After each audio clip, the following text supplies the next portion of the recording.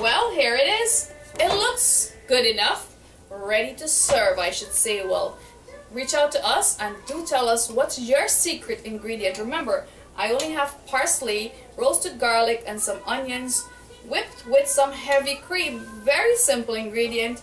And you can have this with just a slice of chicken breast or a wing or a leg if you're a thigh person. Go ahead. Eat healthy and always watch your portion. Portion control is important.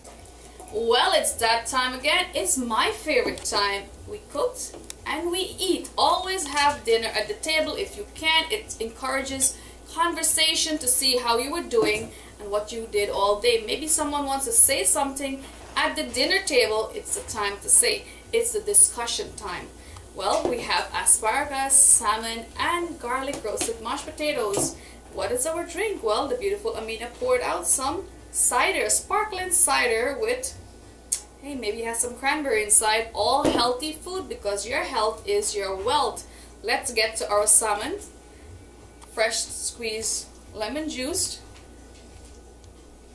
Because we all, I know we make four plates, we all love lemon on the fish. It complements the fish and it's not over seasoning as you can see before we prepare with very light ingredient basil oregano garlic onion thyme and some heavy cream and look what we end up having. A meal fit for you. You're a king you're a queen and it's good enough for you. Let's get eating the best part.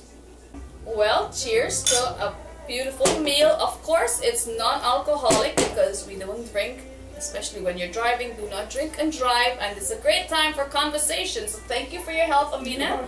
Let's try it because you did help a lot.